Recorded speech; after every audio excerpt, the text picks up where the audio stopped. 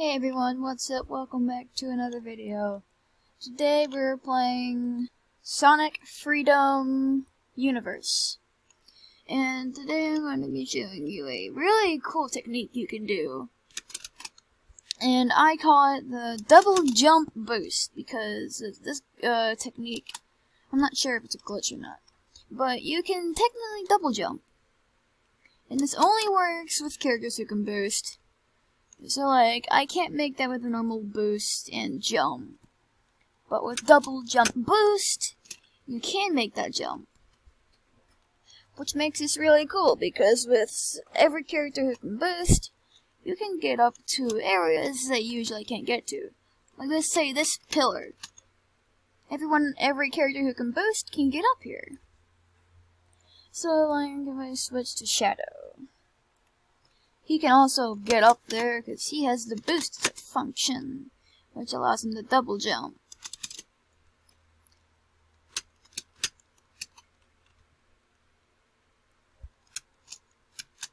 And basically how you do this double jump boost is you need to jump, shift, jump, like shift, jump, shift, jump.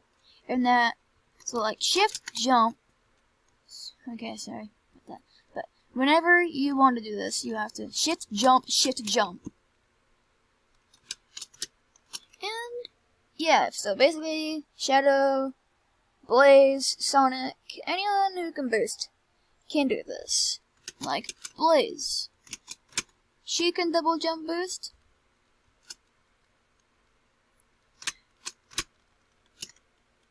Without any problem.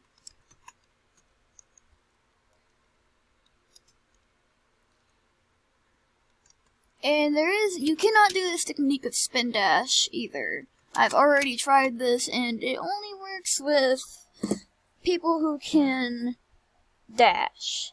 Like even people, like characters that are unlockable. It's like, let's do Persona Sonic.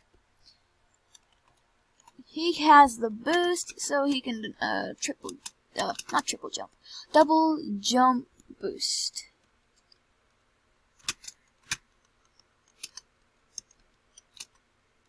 And yeah, it's pretty much all I have for this video. Just showing you a couple cool glitches.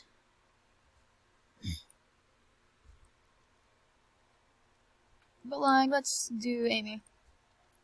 If you cannot do this glitch with a character who can spin dash. Because that just ends up in a homing attack and spin dash. So I hope you guys enjoyed today's video. If you did, be sure to leave a like and subscribe and hit that notification bell to never miss another video. And I hope you all have a good rest of your day. And see ya!